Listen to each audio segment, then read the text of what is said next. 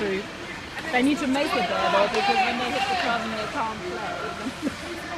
Yeah, but I think it's, I think it, it's been, particularly hard for the first year clubs Yeah, I this know, year. this I think next year, from now on, it won't make any difference. It won't make any difference.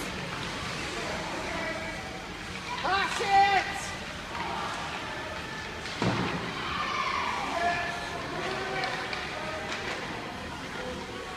But we as a club, rather than saying yes to more cross eyes,